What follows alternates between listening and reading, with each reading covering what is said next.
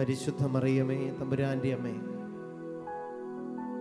പാപികളായ ഞങ്ങൾക്ക് വേണ്ടി എപ്പോഴും പ്രാർത്ഥിക്കുന്ന അമ്മേ. അമ്മയെ ഞങ്ങൾ സ്നേഹിക്കുന്നു. അമ്മയുടെ മാധ്യസ്ഥം ഞങ്ങൾ യാചിക്കുന്നു. ദൈവത്തെ ആരാധിക്കുന്നവർക്കാർക്കും അമ്മയെ മറക്കാനാകില്ല. കാരണം അമ്മയെപ്പോലെ ആരും ദൈവത്തെ ഇന്നുവരെയും വാഴ്ത്തിയിട്ടില്ല. മാതാവിന്റെ സ്തുതി കീർത്തനങ്ങൾക്ക് അടുത്തൊന്നും ഞങ്ങളുടെ ഒരു കീർത്തനങ്ങളും എത്തില്ലെന്ന് ഞങ്ങൾക്കുറപ്പുണ്ട് ദൈവസ്തുതി ആരാധനയിൽ മറിയത്തെ മാറ്റി നിർത്താനാകാത്ത വിധം മാലാഖമാരോട് അമ്മ അടുത്ത് നിൽക്കുകയാണ്. ഈ ലോകത്ത് ദൈവത്തെ ഇതുപോലെ അറിഞ്ഞ ആരാ ഉള്ളത്? ഈ ലോകത്ത് മറിയത്തെ പോലെ ദൈവത്തെ സ്തുതിച്ച ആരാ ഉള്ളത്? മറിയത്തെ പോലെ ദൈവത്തെ സ്നേഹിച്ച ആരാ ഉള്ളത്? മറിയമേ നിന്റെ പരിശുദ്ധമായ സാന്നിധ്യവും മാധ്യസ്ഥവും ഞങ്ങൾ യാചിക്കുക ഈ ആരാധനയിൽ അമ്മയോട് ചേർന്ന് ഞങ്ങൾ ദൈവത്തെ സ്തുതിക്കുക ഞങ്ങൾ അമ്മയെ ഓർക്കുന്നത് ദൈവത്തെ സ്തുതിക്കാൻ ഞങ്ങളെ പഠിപ്പിക്കണമെന്ന് പറയാനാണ്. ദൈവത്തെ സ്തുതിക്കുന്ന ഒരു ജീവിതം ഞങ്ങൾക്ക് ഉണ്ടാകാൻ വേണ്ടിയിട്ടാണ്. സഹായം യാചിക്കുകയാണ്. അമ്മ ഞങ്ങളുടെ കൂടെ തന്നെ ഉണ്ടാകണം. അമ്മയെ ഞങ്ങൾ ഓർക്കുമ്പോഴും അമ്മയെ ഞങ്ങൾ സ്നേഹിക്കുമ്പോഴും ഞങ്ങളുടെ പ്രാർത്ഥന ഇതാണ്. ദൈവത്തെ കൂടുതൽ സ്നേഹിക്കാൻ ഞങ്ങളെ പഠിപ്പിക്കുക. ദൈവത്തിന് വേണ്ടി ജീവിക്കാൻ ഞങ്ങളെ സഹായിക്കുക. കന്യകമേരി അമ്മേ കാവൽ മാലാഖമാരെ നിത്യവും കാത്തിടണേ കൂടെ നടന്നിടണേ സാത്താനെ ദൂരെ അകറ്റിടണം. ഈ ഈരടികളോട് ചേർന്ന് ലോകം മുഴുവനുമുള്ള പരിശുദ്ധ അമ്മയുടെ സാന്നിധ്യത്തെ ഓർത്ത് നമുക്ക് ദൈവത്തെ സ്തുതിക്കാം. അമ്മയോടൊപ്പം ദൈവത്തെ ആരാധിക്കാം.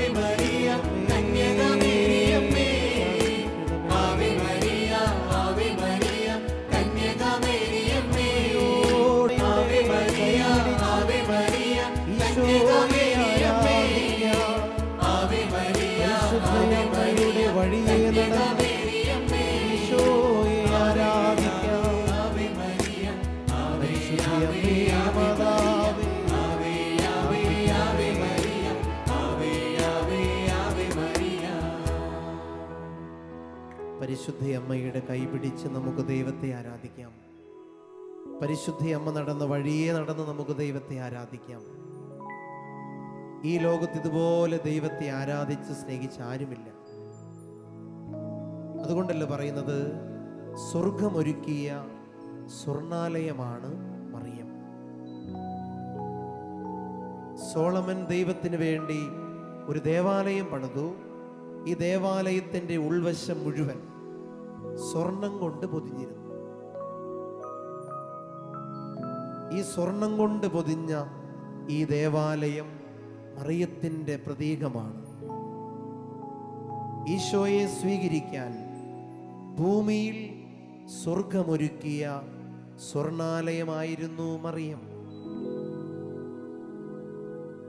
പരിശുദ്ധ അമ്മയെ നമ്മൾ ഓർക്കുന്നത് എന്തിനാ ദൈവത്തെ സ്നേഹിക്കാൻ വേണ്ടിയിട്ടാണ് ദൈവത്തെ ഹൃദയത്തിൽ സ്വീകരിക്കാൻ ഒരുങ്ങാൻ വേണ്ടിയിട്ടാണ്. അനുദിനം ദിവ്യകാരുണ്യത്തിലൂടെ ഈശോ നമ്മുടെ ഹൃദയത്തിലേക്ക് വരാൻ ആഗ്രഹിക്കുന്നുണ്ട്. ഈ സ്വർണാലയം പോലെ പരിശുദ്ധമാണോ നമ്മുടെ ഹൃദയം? ദിവ്യകാരുണ്യ സ്വീകരണ സമയത്ത് ഹൃദയത്തിൽ കൈവച്ച് പറയാൻ പറ്റുമോ? ഈശോയെ നീ വിരുന്നിന് വരുന്ന വീടുകളിൽ വെച്ച് ഏറ്റവും നല്ല വീട് ഭവനം എന്റേതായിരിക്കുമെന്ന് സ്വർണാലയം പോലെ മറിയത്തെ പോലെ അഴകുള്ളതും ശുദ്ധിയുള്ളതുമായ ഒരു ഹൃദയം ഞാൻ നിനക്ക് തരാം എന്ന് നമുക്ക് പറയാൻ പറ്റണം. വിശുദ്ധ കൊച്ചുരേസ്യ തന്റെ പ്രഥമ ദിവ്യകാരുണ്യ സ്വീകരണ സമയത്ത് ഈശോയോട് ഇങ്ങനെ പറഞ്ഞു ഈശോയെ നിനക്ക് സ്വർഗത്തിലേക്ക് തിരിച്ചു പോകാൻ തോന്നാത്ത വിധം ഞാൻ നിന്നെ അത്രമാത്രം സ്നേഹിക്കും സ്നേഹിക്കുന്നു സ്വർഗമൊരുക്കിയ സ്വർണാലയമാണ് മറിയം എന്ന് കേൾക്കുമ്പോൾ നമ്മളും ഇതുപോലെ ഒരുക്കമുള്ളവരായിരിക്കണം. ഈ ഭൂമിയെ മുഴുവൻ പരിപാലിക്കുന്ന ദൈവത്തെ പാലൂട്ടിയവളാണ് മറിയം. എഫ്രൈം സഭാപിതാവ് പറയും ഈ ഭൂമിയിൽ സ്വന്തം അമ്മയെ തിരഞ്ഞെടുക്കാനുള്ള ഒരു ഭാഗ്യം എനിക്കോ നിനക്കോ കിട്ടിയാൽ ഈ ലോകത്തിലെ ഏറ്റവും നല്ല പെണ്ണിനെയല്ലേ അമ്മയായി സ്വീകരിക്കൂ? ഈ ഒരു സാധ്യതയുണ്ടായത് മറിയത്തിന് ഈശോയ്ക്ക് മാത്രമാണ്. എങ്കിൽ ഈശോ ആ ചാൻസ് വെറുതെ കളയോ? ദൈവത്തിന് കിട്ടിയ ഈ ഒരു ചാൻസ് ദൈവം ഏറ്റവും നന്നായി ഉപയോഗിച്ചു. സ്വർണം പോലെ സ്വർഗം പോലെ പരിശുദ്ധിയുള്ള മറിയത്തെ അമ്മയായി തിരഞ്ഞെടുത്തു. സ്വർഗമൊരുക്കിയ സ്വർണാലയമേ സൃഷ്ടാവിൻ ആലയമേ പാലിക്കും ദൈവത്തെ പാലൂട്ടി താരാട്ടുപാടിയ പുണ്യതായേ. ഈരടികൾ പാടുമ്പോഴൊക്കെ നമുക്ക് ഓർമ്മയുണ്ടാകണം ഈശോയെ സ്നേഹിക്കുന്നവരുടെ ഉള്ളു ഇതുപോലെ ആയിരിക്കണം. ആരാണ് എന്റെ അമ്മയും സഹോദരരും എന്ന ചോദ്യത്തിന് ഈശോ പറഞ്ഞില്ലേ എന്റെ പിതാവിന്റെ ഇഷ്ടം നിറവേറ്റുന്നവരാരോ അവരാണ് എന്റെ അമ്മയും സഹോദരരും. ദൈവത്തെ ആരാധിക്കാൻ നമുക്ക് മറിയത്തിന്റെ കയ്യിൽ പിടിക്കാം. മറിയം നമ്മുടെ കരങ്ങളെ ഉയർത്തും. മറിയത്തെ ഹൃദയത്തോട് ചേർത്ത് വയ്ക്കാം പരിശുദ്ധ അമ്മയുടെ വിമല ഹൃദയം വഴി നമുക്ക് ഈശോയെ ആരാധിക്കാം. ദൈവത്തെ സ്തുതിക്കാം. ഈ ഈരടികൾ പാടിക്കൊണ്ട് ഒരുമിച്ച് നമുക്ക് പ്രാർത്ഥിക്കാം. എല്ലാ തിന്മകളിൽ നിന്നും നമുക്ക് മോചനം ഉണ്ടാകട്ടെ. ഹൃദയം സ്വർഗം പോലെ സ്വർണം പോലെ വെണ്മയുള്ളതാകട്ടെ.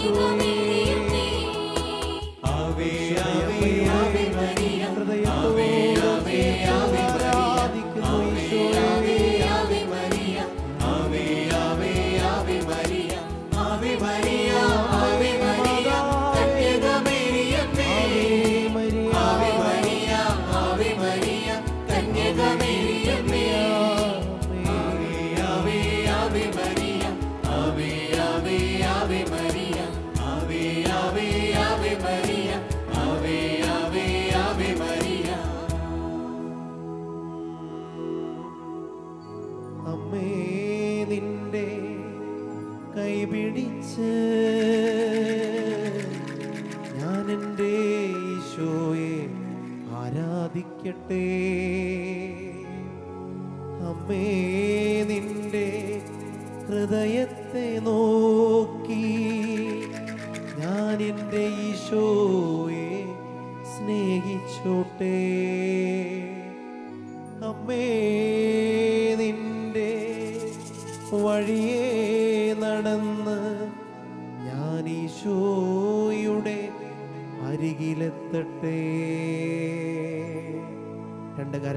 ഉയർത്തി ഹൃദയം തുറന്ന് നമുക്ക് സ്തുതിക്കാം ഈശോയെ ഈ സമയം. അമ്മയോട് ചേർന്ന് നമുക്ക് ആരാധിക്കാം. യേശുവേ ആരാധിക്കാം. ദൈവമേ നന്ദി. ഹാലേലുയ യേശുവേ ആരാധന. ഹാലേലുയ യേശുവേ നന്ദി. ഹാലേലുയ ഹാലേലുയ യേശുവേ.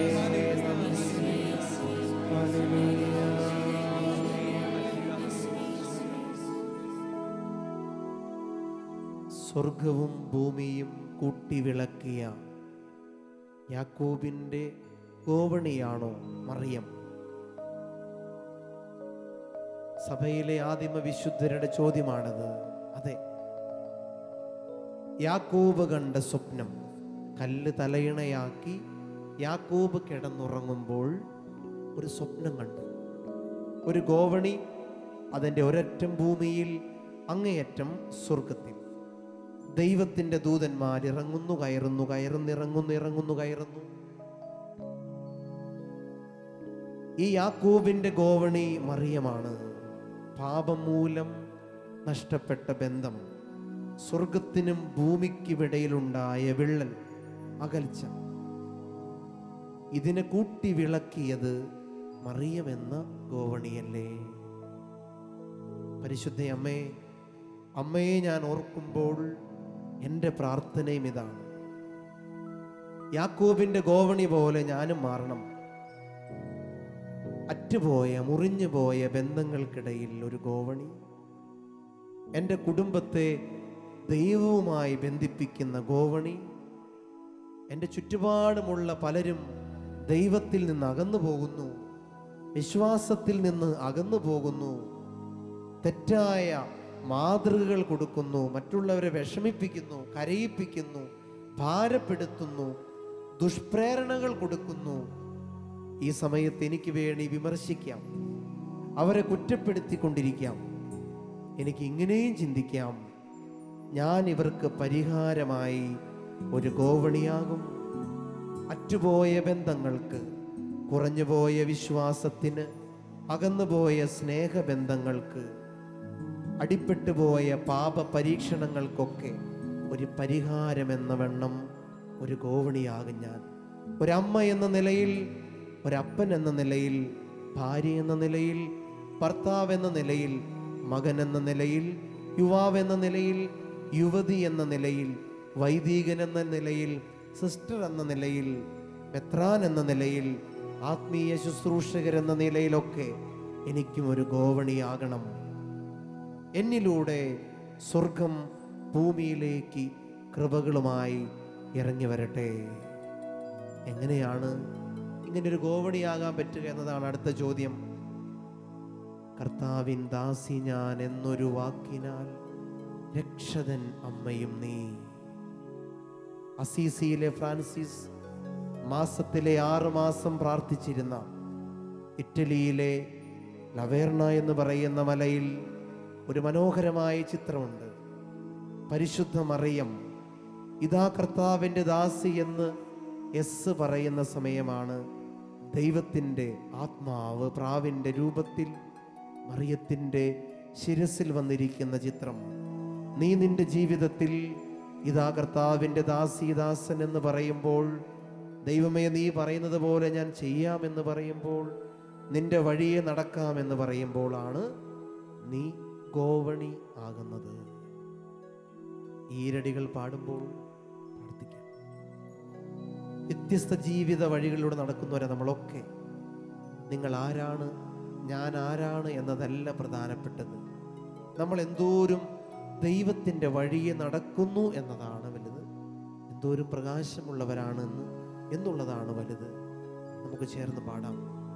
സ്വർഗവും ഭൂമിയും കുട്ടിവിളക്കും യാക്കോബിൻ ഗോവണി നീ. കർത്താവിൻ ദാസി ഞാൻ എന്നൊരു വാക്കിനാൽ രക്ഷതൻ അമ്മയും നീ. രക്ഷതൻ അമ്മയും നീ. ഈ ഈരടികൾ എന്നിനി പാടുമ്പോഴും ഓർക്കണം ഈ കൃപയ്ക്ക് വേണ്ടി. ഹൃദയം തുറന്ന് വിശ്വാസത്തോടെ ഈ അനുഗ്രഹത്തിനായി പ്രാർത്ഥിക്കാം.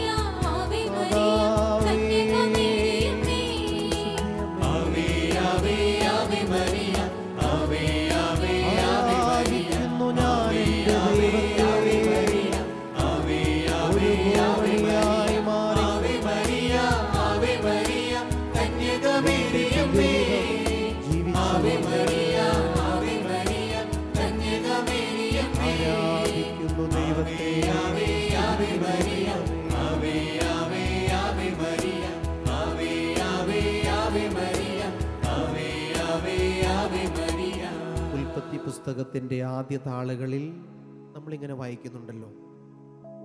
പിതാവായ ദൈവം സർപ്പത്തെ നോക്കി സാത്താനെ നോക്കി പറഞ്ഞു നീയും സ്ത്രീയും തമ്മിലും നിന്റെ സന്തതിയും അവളുടെ സന്തതിയും തമ്മിൽ ഞാൻ ശത്രുത ഉളവാക്കും. യോഹന്നാന്റെ സുവിശേഷത്തിൽ ഈശോ അവളെ സ്ത്രീയെ എന്ന് വിളിച്ചു. വെളിപാടിന്റെ പുസ്തകത്തിൽ സൂര്യനെ ഉടയാടയാക്കിയ സ്ത്രീയെ നമ്മൾ കണ്ടു. ഇതെല്ലാം കൂട്ടി വായിക്കുമ്പോൾ നമുക്ക് മനസ്സിലാക്കാൻ പറ്റുന്ന ഒരു സ്വർഗീയ രഹസ്യമുണ്ട്. ഭൂമിയിലെ സാത്താന്റെ ആദ്യത്തെ ശത്രുവായി പിതാവായ ദൈവം പ്രഖ്യാപിക്കുന്നത് മറിയത്തെയാണ്. നീയും സ്ത്രീയും തമ്മിൽ ഉള്ള ശത്രുത. ഇതാണ് ജപമാലയുടെ ശക്തി. ജപമാല കൈകളിലെടുക്കുമ്പോൾ തിന്മയെ ആട്ടിപ്പുറത്താക്കാൻ പറ്റുന്ന ഒരു ചാട്ടവാറായി കാണണം. ഭൂമിയിൽ സാത്താന്റെ ആദ്യത്തെ ശത്രു നീ ആദാമിൻ മോചനമേ. ജപമാലയാകും ചാട്ടവാറേന്തി തിന്മയകറ്റും ഞങ്ങൾ. ജപമാല ഭക്തി കുറഞ്ഞു പോയവര് പ്രാർത്ഥിക്കാൻ പറ്റാത്തവർ ഈ സമയം ഒന്ന് പ്രാർത്ഥിക്കണം. തിന്മയെ ആട്ടിപ്പുറത്താക്കാൻ പറ്റുന്ന ഈ ചാട്ടവാർ ഇനിമേൽ ഞാൻ താഴെ വെക്കില്ല താഴെ വെക്കില്ല. എന്റെ കുഞ്ഞുങ്ങൾക്കും യുവതി യുവാക്കൾക്കും എല്ലാവർക്കും ഞാൻ തിന്മയെ ആട്ടിപ്പായിക്കാൻ ഈ ചാട്ടവാറ് കൊടുക്കും.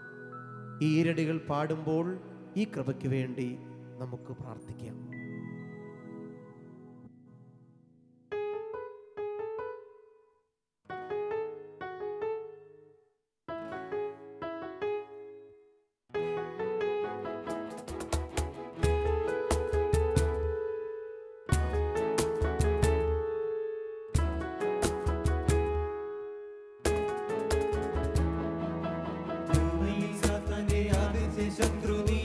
ആദാമിൻ മോചനമേ ജപമാലയാകും ചാട്ടവാറേന്തി